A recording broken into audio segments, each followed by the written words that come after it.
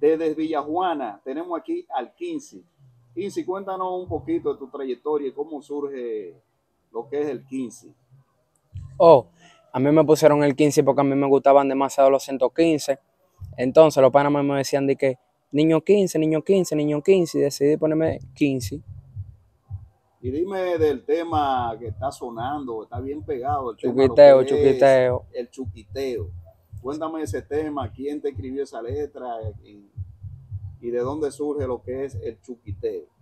O sea, yo mismo fue que escribí mi letra, yo mismo fue que hice todo lo mío. Y me llegó la idea de cantar eso, porque, o sea, lo que yo canto en esa canción es lo que se ve en mi barrio.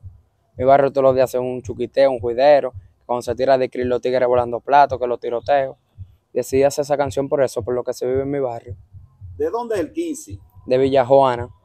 De Villajuana.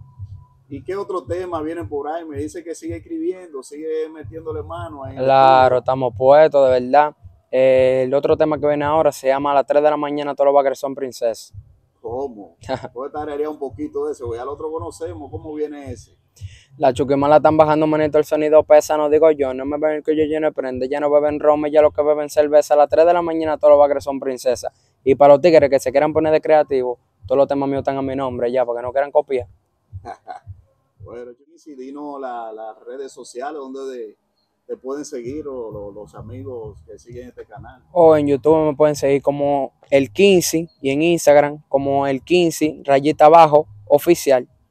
15 cada kilómetro INX. Y si dime, vi una colaboración recientemente con los 12 discípulos. Sí, esos son los hermanitos míos, el Sur y esa gente, Similito. Esa gente son mías de verdad, mía, mía, mía, mía. Te vimos en Tarima ahí también, ahí vi en el canal de YouTube, tú subiste a Tarima y la gente se volvió loca con, el tema. Rompiendo en la fiera y por la oportunidad que nos dio para un 90 también, por cantar en la fiera y rompimos. Pusimos a esa gente a beber por pila, fue. ¿algún mensaje, un último mensaje para tu gente que te siguen? Que confíen en Dios, que dio la vuelta ahora mismo, confíen en Dios y ya, hermana.